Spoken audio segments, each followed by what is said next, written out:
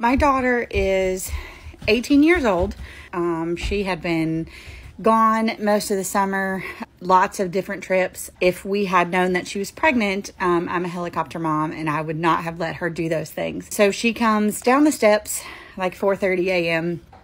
said that she was hurting and she was like holding her ribs. So I was like getting ready to take her to the ER. We get there. I'm like I, don't know what's going on. I think she's passing a kidney stone.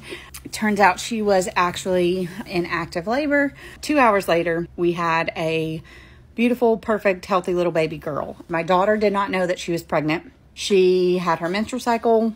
This is what is called a cryptic pregnancy. The placement of her placenta did not allow her to show. Surprise we had a baby and my husband and i are grandparents at the ripe old age of 38 and 36